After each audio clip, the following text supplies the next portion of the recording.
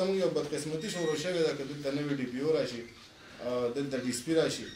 نو موږ هر یو کس په کوشش کوو څېره به مغشتې ورځو به هغه ته به غاړه کېچو یا که نوی اې سي راشي ډي سي راشي موږ خپل مشر هغه ګڼو ځکه چې دا سیستم زموږ دونه کمزوري شوی دی چې هغه جمهوریت ته بالکل ختم شوی دی موږ ته خپل مشر چې دی هغه ډیپټي کمشنر ښکاري موږ ته خپل مشر اې سي ښکاري موږ ته خپل مشر ډي پي او ښکاري دغه هم زموږ لپاره قابل قدر دي خوارۍ کړي دي خو دا سرویسز واله خلک دي په کار دا ده چې د کلي مشر د علاقې مشر زموږ ایم پی ای زموږ ایم ان ای هغه چې د هرې پارټۍ نه او خلکو کله سلیکټ کړو نو هغه له عزت ورکول په کار دي او هغه به د عوامو خبره کوي او دغه خلک به سرویسز ورکوي دلته سیس چې دی بلکل ګډوډ شوی دی او بدقسمتۍ نه د لساتو کالو نه خو دا سیسټم ډېر زیات ویښ شو دا اوس چې پکې کومې مسلې مزید روانې دي نو ماته نه ښکاري چې یاره موږ څه ښه طرف ته روان یو موږ همغه خراب طرف ته روان یو ځکه چې ورځ تر ورځه لوکل ګورنمنټ چې کوم سیستم و هغه ویک کیږي ورځ تر ورځه دې کې چې کوم نوې پکای چې دې کې ریفارمز شوي چې دا نور هم ښه شي ځکه موږ کله موږ په یو پیج نه یو نو هغه څیز نه کیږي او زموږ بدقسمتۍ دې ملک کې دا دی چې دا خلک په یو پیج نه دي او عمر له د بیروکراسي دا یو پلانینګ دی چیرې سیاسي خلکو ته مسلې جوړې کړو او دوی زموږ چې کوم اختیار دی یا چې زموږ کومه منماني ده یا چې کوم زموږ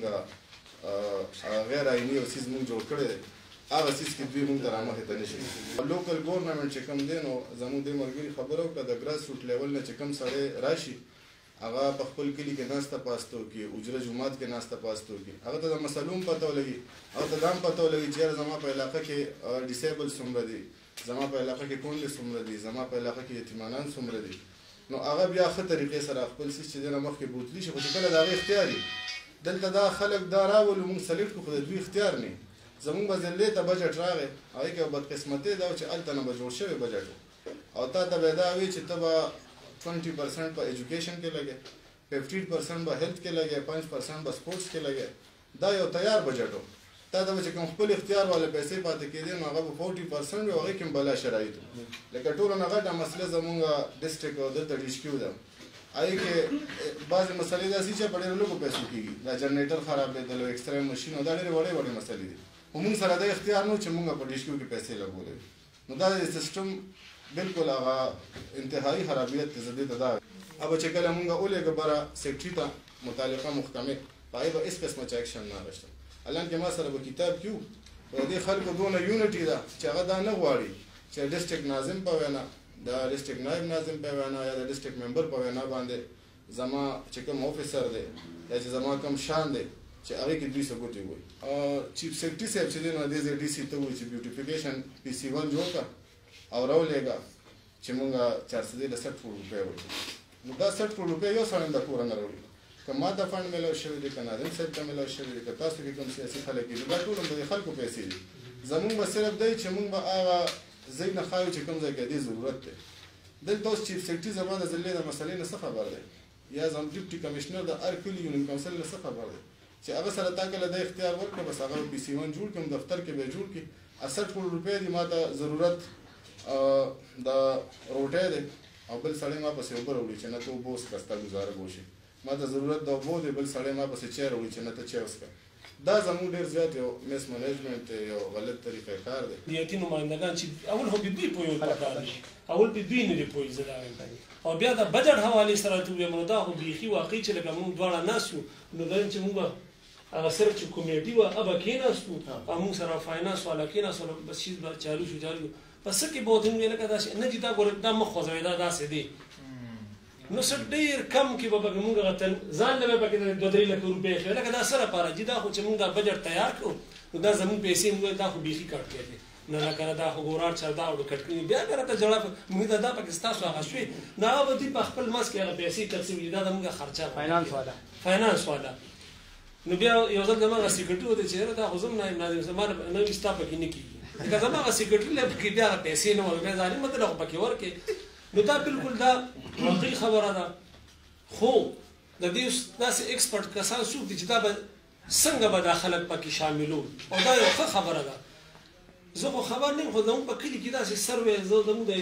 بلدیاتي دغه نه پس یو سروې شما ته کلي کې چې خلک راغلي چیرې تاسو څه ضرورت تاسو موږ ته وایي